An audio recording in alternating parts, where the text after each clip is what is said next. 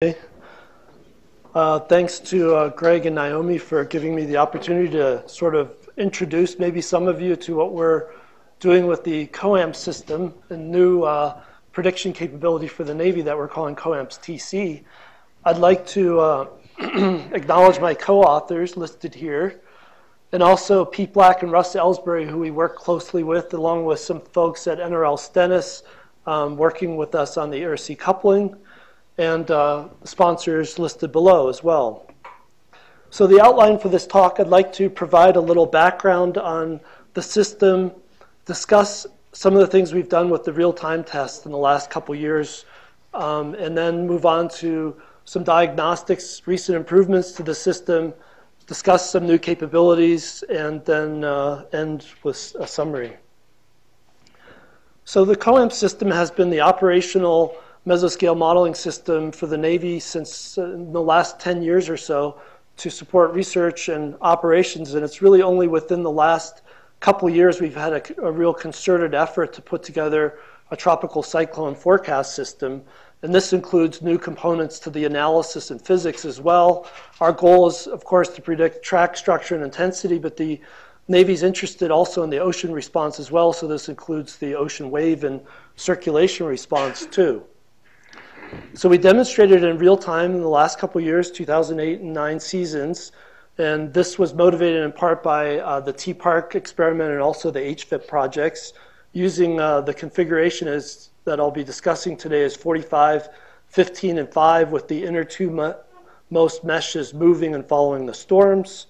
So our near-term objectives for the project are to evaluate the skill for some of these real-time forecasts, um, do research uh, in between the seasons to improve the prediction of the track intensity and structure. Would like to transition this to operations to the Navy and also participate in the HFIP multi-model ensemble, which we think is very important. And then uh, along the way, hopefully provide some new insight into TC couple prod, uh, processes, which we're really keen to understand along with uh, dynamics and predictability. So this is an overview of the uh, of the system, and uh, basically it has a 3D VAR analysis capability that's I'll talk more about in a minute. The atmospheric model is non-hydrostatic. The special uh, aspects of the TC, we have the TC system include moving nests, dissipative heating. We have a spray parameterization that we have in now um, from Chris Fairall and also a shallow convection scheme. The ocean analysis includes 2D and 3D um, OI options. The ocean models, we have uh, the NCOM circulation model along with the wave models. Right now, the SWAN model is included, and we're building in the WaveWatch 3 model um, with our colleagues at Stennis. We're using uh, the ESMF uh, framework to do the coupling with the ocean model. We're also building in ensemble capabilities, and now we have an ensemble transform capability, and all, along with some physics perturbations we have actually done some preliminary coupled ensemble forecasts, which I'll show you an example of. And so the, that's sort of the direction we're heading.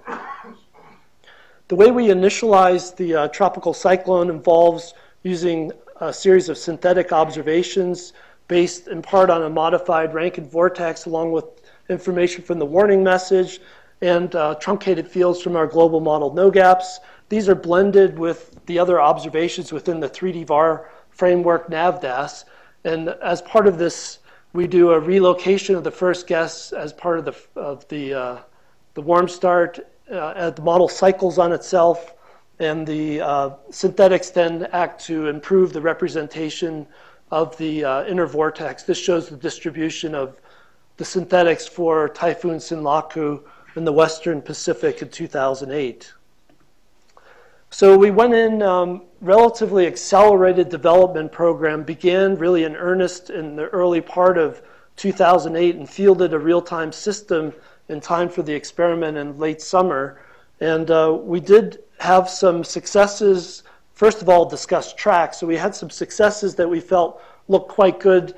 Best track here in black. The colors are the various forecasts from different watch times. But we also had some real challenges. A lot of models had challenges with Sinlaku, with a lot of recurvature happening early on.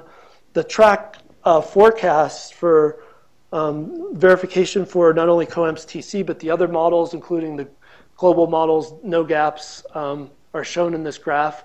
And COAMPS, I think we're pretty happy in terms of track. It, it was very similar to the uh, global model that was driving at NOGAPS in terms of statistics. All of the models by 72 hours were trailing significantly ECMWF's model, which had a very good year in the Western Pacific this particular year. Japanese was quite good too. COAMPS had outperformed the GFDN model, that version of the GFDN model run in the Pacific um, at that time.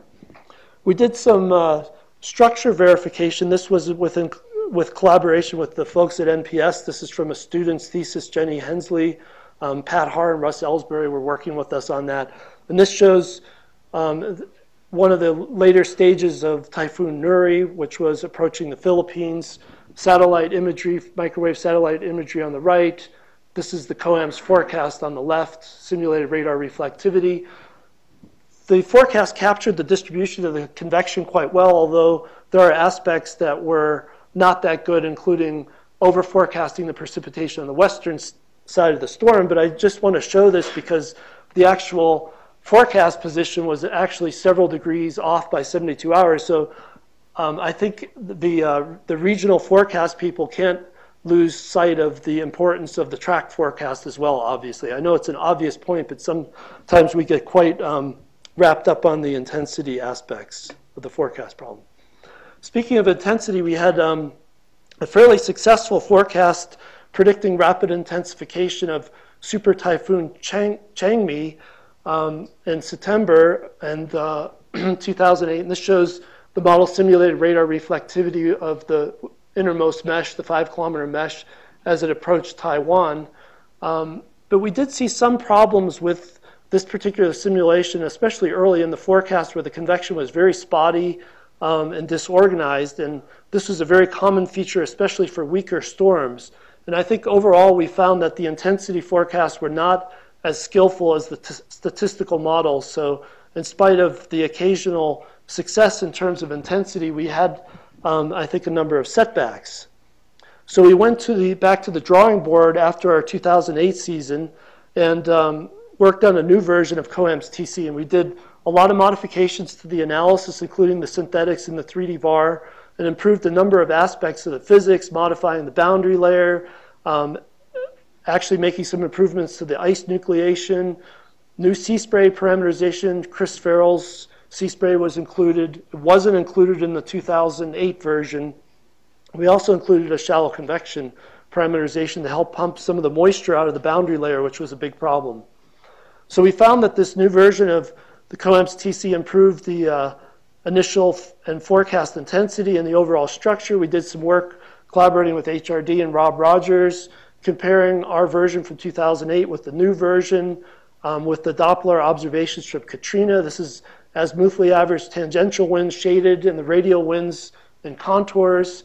And um, we found this to be very useful to look at some of the details of the structure. And just to uh, emphasize a point that Naomi and Chris talked about, is that coming out of this, we learned, I think, that we need much more systematic structure diagnosis um, to be able to understand what our changes to the modeling system is doing more than just a number.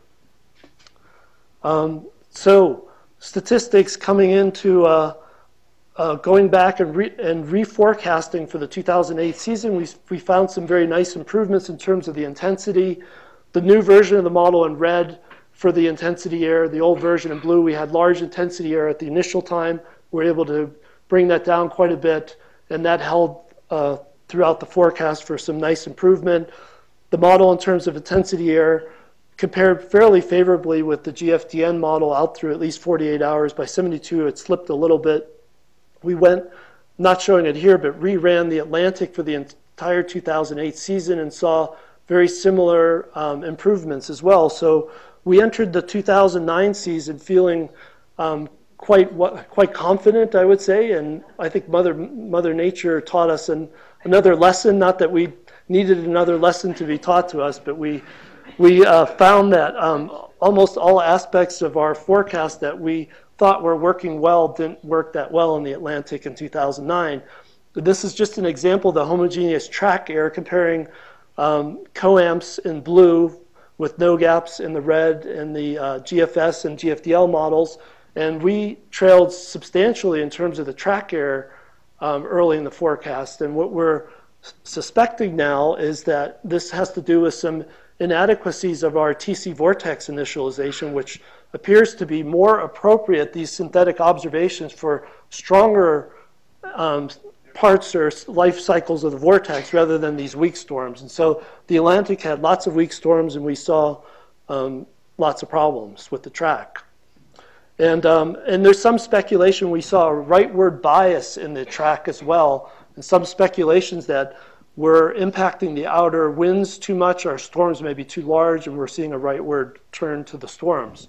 Also, we saw an over-intensification bias. This is uh, the bias versus time. We have a little bit of a low bias initially, and then a fairly substantial bias later in the forecast. Although in the Westpac, our statistics were a little bit better because the storms were, I think, a little more well developed last season than in the Atlantic. So we went back and uh, looked in the, in the process of looking at some retrospective forecasts, and this is a series of forecasts for Hurricane Bill, and this is actually with the fully coupled system. So the forecasts that I talked about for the previous two seasons were actually done uncoupled, and this is a test. Um, it was done uncoupled because we're still in development of the fully coupled system. This is the animation of the COAMPS TC predicted sea surface temperature and currents that were done from this coupled system. And if we overplot the SST change over a 72 hour period, compares fairly favorably with a 2 to 3 degree C cooling that happens below the storm and is left in the wake of, of uh, Hurricane Bill. If we go back and um, look at the intensity errors now for the uncoupled and coupled system, we can see a substantial improvement in terms of the uh, intensity error with the coupled system, something that we knew um, from uh, experiments from the GFDL group and others as well in, in the past. So we are forging ahead with the development of our coupled system. We also are developing an adjoint system that allows a really elegant way of computing forecast sensitivity. The system is a bit unique in that it includes full suite of microphysics and also grid nesting. This is an example from uh, Typhoon Nuri, which we had some LIDAR observations during T-PARC that showed sort of an asymmetric structure to the system, which was captured by the nonlinear model. So this is run at fairly coarse resolution, 13 kilometers, but it's pretty fine resolution for these adjoint type of applications. And what we found was that the sensitivity, this is the sensitivity with respect to the water vapor, really underscores the importance of the moisture variable for Genesis, and I think this was mentioned earlier, it's absolutely of critical importance. We also saw, saw some interesting structures related to the vorticity sensitivity as well. And I think the overall message that Carrie talked about today, I think, is there's a real need to quantify predictability of the TC life cycle and its characteristics. We have to know um, at what point do we reach diminishing returns as far as um, forecast lengths and also resolution. I think that's a critical question. Along those lines, we're developing an ensemble capability within the model. And this is an example of Hurricane Ike. This is actually a, a coupled ensemble, that 29 members. It's relatively coarse resolution, 81 and 27 kilometers, but we can run finer resolution when we grab some more computer time. And this just shows the various tracks from different um, initialization times and all the initialization times just as a demonstration of the system. We're starting to look at um, the ocean response as well within this ensemble. So let me summarize. So the um, high resolution TC predictions in 2008 and 9 um, highlighted a few areas of challenges for our model and probably for others' models as well. One is the vortex initialization, especially for these weak and sheared storms that both Chris and Naomi talked about.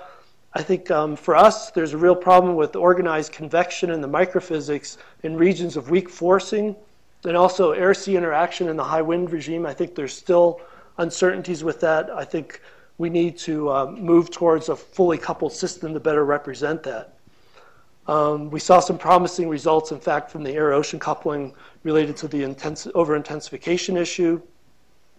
And uh, we're working forward or working hard on making uh, some further improvements to the system based on the real-time forecast. Our future research We're uh, developing ensemble Kalman filter and 4D VAR capabilities within the system to better address this vortex initialization issue. Um, improvements to the microphysics, We'd like to work with the community on this issue, as well as the coupling issue. We're involved with a NOPP project that's um, focused on the air-sea coupling. Um, I mentioned earlier the predictability issue. Um, community collaborations we're pursuing through HFIP, NOPP, various field projects, and um, mentioning, I think Louis mentioned it earlier, I think this model diversity issue is important, and I think one way forward is the multi-model high-resolution ensembles that we're attempting under HFIP. I think that's an important issue, and also community-based diagnostics that um, Naomi mentioned. I think that's an important issue as well. We need to pool our resources and be able to not only compare to observations, but observations or also other models as well. So we need efficient tools to be able to do that. So I'll stop there and happy to answer questions.